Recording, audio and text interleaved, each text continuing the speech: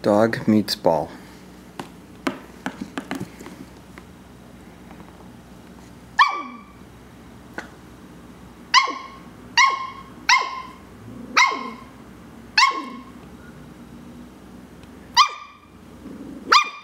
You're just going to let it get away?